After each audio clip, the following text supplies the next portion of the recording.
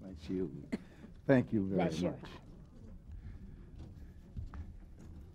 Well, thank you, Virginia, and thank you all very much.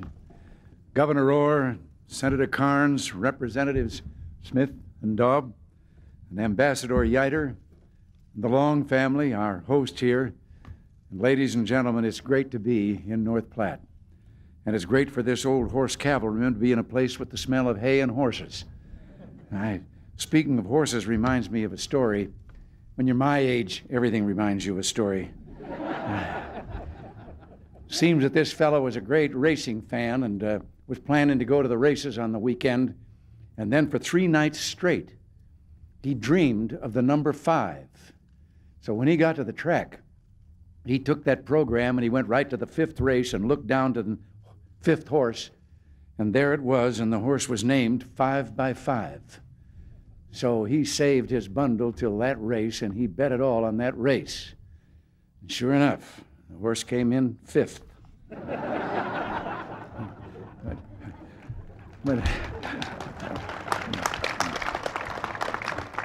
but that story has a moral. It's that those people who think that the race is over and are counting out this administration better hold on to their bets because we're going into the home stretch, and they'd better believe we'll make a fast finish. There are many items on our agenda, but there are a few that are especially important ones that I'd like to talk to you about today. First, I want to talk to you about how we lock in the gains that we've made these last six and a half years and how we make sure we never return to the days of high taxes and stagflation. The good news about our economy today is impressive. What the Europeans have called the American miracle. It keeps on keeping on. Well, nearly 13,500,000 jobs have been created since the expansion began. And that averages out to 240,000 new jobs in this country a month. Unemployment is down to 5.9%, the lowest since 1979, and I understand Nebraska is doing even better than that. Employment, the percentage of all Americans over the age of 16, is the highest in U.S. history. Perhaps you didn't know, I didn't for a long time, that the employment pool on which they base the statistics is considered to be everyone in the United States, male and female, from 16, the age 16 up. And that's the potential employment pool. Well, today, 62% of all the Americans in that, in that pool are employed. The, it's the highest, as I say, in, in U.S. history. Poverty's falling, median family income is up, and almost 11% that it's up between 1982 and 1986. The gross national product numbers for the last three years have just been revised upward, showing that our economic expansion has been even stronger than we previously thought. But what about the future? The stock market just this week broke another record, and the leading economic indicators are rising, forecasting growth and good times ahead. Well, that's good news, certainly. Now for the bad. Unfortunately, there's one economic indicator that couldn't be worse. It's so bad, in fact, it threatens to undo all our economic progress and plunge America back into the malaise days of the 1970s. I'm talking about those in Washington who don't want to discipline themselves. And with present company accepted, Congress wants to spend first and pay later by increasing everyone's taxes. Now, I have this hunch that most Americans don't agree with all those people who think your taxes are too low. In fact, maybe they think just the opposite. I don't know about you, but I thought all this tax hike business was settled in the election of 1984. The American people sent a message loud and clear, and I guess Washington just doesn't hear. And that's why we have to spend, send another message, one that can't be ignored. And that's why I've promised to spend not just the remainder of my presidency, but the rest of my public life, campaigning for an economic Bill of Rights that will once and for all secure our economic freedoms. Once and for all, we want a balanced budget amendment to the Constitution.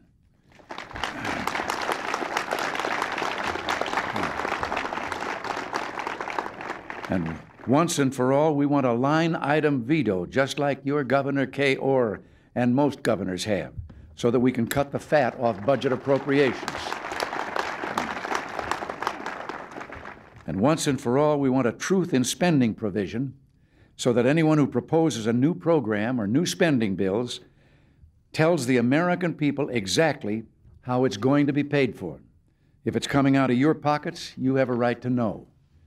Once and for all, we're going to require more than a mere majority to pass a tax hike.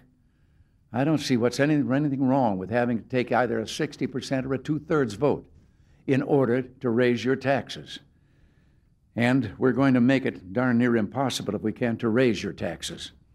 When I signed our tax reform into law, I said that the past two decades have witnessed an expansion of many of our civil rights, but that our economic liberties have been too often neglected, even abused.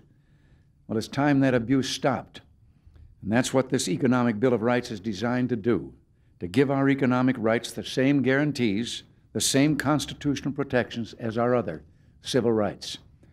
This country was built free and strong, not only because individuals were free to speak their minds, but also because they were free to prosper. For too long, we forgot that.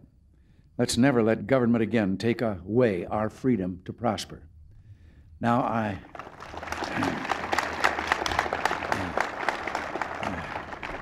I know I read in the paper that there are some advertisements that uh, have started appearing and are going to appear after I leave here, and that are going to tell you that uh, what am, who am I to talk about things like this because I'm responsible for the deficit. Well, could I give you just a little lesson in civics and politics? The president can't spend a nickel. Only Congress can appropriate money uh, to be spent. And there are some things I think you should know. The president is required to submit a budget every year. I have never had one of my budgets approved by Congress since I've been here. And if they had passed the budget I first proposed for 1982, the cumulative deficits through, deficits through night from there through 1986 would have been $207 billion less than they were. As a matter of fact, the Congress has been very good about cutting some spending. In our efforts to try and refurbish the military, which was so bad that when I became president, on any given day, 50% of our military aircraft could not take off for lack of spare parts or fuel. 50% of our Navy couldn't leave port for lack of crew or spare parts. So we set out to refurbish the military and give ourselves some strength. Well, more about that maybe later, but uh, this is the one place that in the years that I have submitted the military budgets through 1986, the Congress has cut the budgets that I presented for the military by $125 billion. Now, you'd think that that shows that they really are trying to save some money they added $250 billion to the cost of the domestic programs that I had asked for. So it didn't exactly come out as a savings. It's just uh, where they were going to spend the money. There's another cloud on the economic horizon. It's the protectionists who tell us that the way to bring down the trade deficit is to raise barriers of our own. Well, they now have their hands on versions of the trade bill which so distort the pro competitive legislation, which I asked for in the State of the Union message, as to be virtually unrecognizable and dangerous. Dangerous because it threatens to tear down all the good work we've done to open foreign markets to U.S. goods and farm produce, and will seriously set back progress in the new GATT round of trade negotiations. Believe me, I would like to sign sound trade legislation. But I will not sign bills that close down markets and shut off expanded job opportunities here in our own country. On the subject of economic good news, let me just say that, too, that it's the best news possible that the picture is beginning to brighten for agriculture here in America's heartland. Land values have stabilized, crop prices are firming, and export markets are expanding. Now, that doesn't mean the road ahead will be easy, but it does mean that we're on the right road, traveling in the right direction. And while I'm here in Nebraska, I want to thank one person especially. As a member of the National Advisory Council on Rural Development, her advice to both me and Secretary Lyng has been absolutely essential. And I'm talking about your great governor, Kay Orr.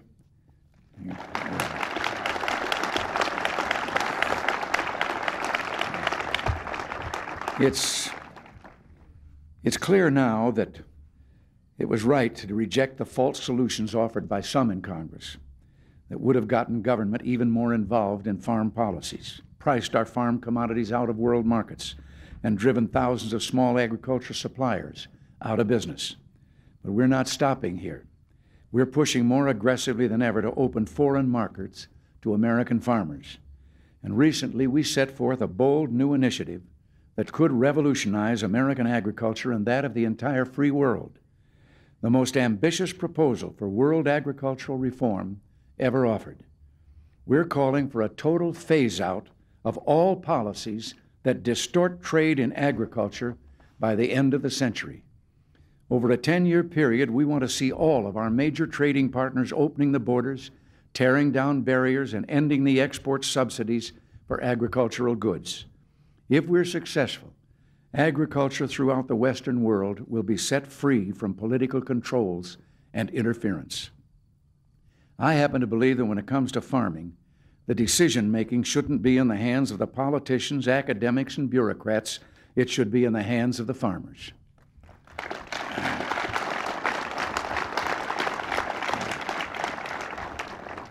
Now, in the month ahead, I also hope, and or the months ahead, an agreement can be reached with the Soviet Union on reducing nuclear arms. We're making real progress on the global elimination of an entire class of nuclear weapons, the land based intermediate range, or INF missiles, of both longer and shorter range. We've come this far because you gave me a mandate, as I said earlier, to rebuild our military strength. And today we're seeing the results of that resolve. I'm optimistic that soon we'll witness a first in world history a U.S. Soviet agreement bringing about the actual destruction of nuclear weapons. And just think where that could lead. Now, before I go, there's one more issue I'd like to talk to you about today. No other issue could be more pressing. I'm talking about the nomination of Judge Robert Bork to the Supreme Court.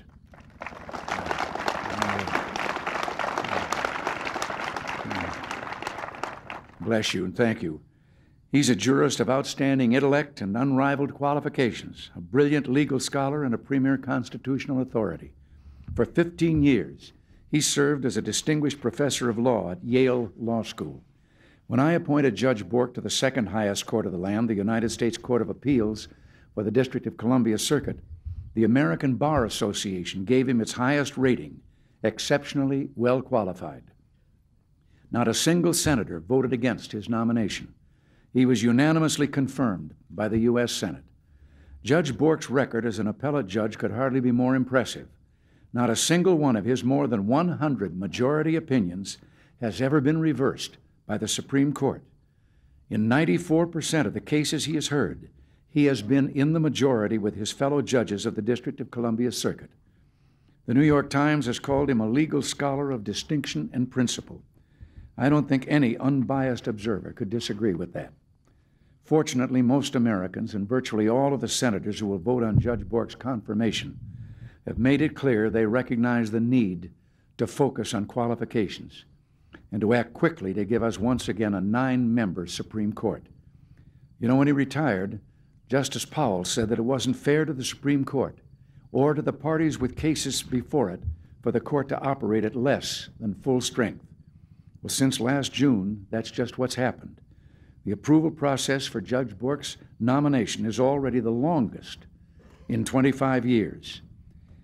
During this hot Washington summer, law clerks for the remaining eight justices are poring over hundreds of petitions for Supreme Court review.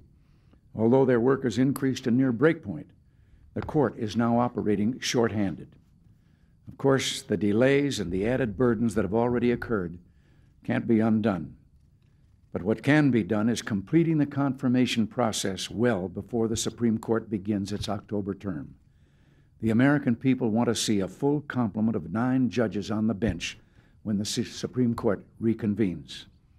And let me say just one final word on this subject. Judge Bork is a fine man, a very fair man, and a model of judicial temperament. He's a credit to the bench and to the bar, and I mean the legal bar. And I know that he will be a credit to his nation in his service on the Supreme Court. Well, I'll be going soon to the rodeo grounds for the rally, and you can bet I'll have more to say there and on the same subjects. But in the meantime, I want to thank all of you very much. And I just can't resist without just passing on a little story again to you. I have a new hobby. I have been accumulating stories that are told by the citizens of the Soviet Union among themselves, which reveal number one, that they have a great sense of humor, but number two, that they've got a pretty cynical viewpoint of their system. Now, I don't know whether you know this, but in the Soviet Union, if a citizen wants to buy an automobile, the waiting time is 10 years. But he has to go and go through all the process in the departments and sign the papers and everything, and then put down the money for a car that he's not going to get for 10 years. And the story that they're telling about this is the fellow that went through all of this and finally made the final signature, put down the money, and then the man behind the counter said, Now come back in 10 years and get your car. And he said, Morning or afternoon? and, uh, and the man behind the counter said, Well, what difference does it make 10 years from now? Well, he said, The plumber's coming in the morning. well,